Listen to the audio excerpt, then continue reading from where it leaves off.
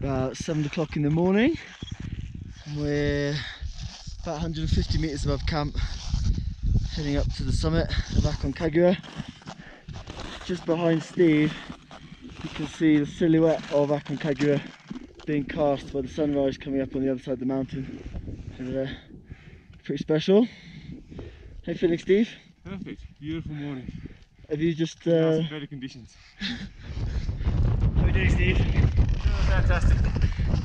What is it, about 10 o'clock or something? Thereabouts. Well over halfway from camp two.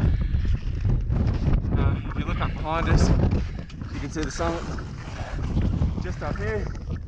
So, we're going to traverse down the side of it and then up the back. Hopefully gives a couple more hours and uh, we should be up the top. It all up. Feeling awesome. It's a brilliant day out.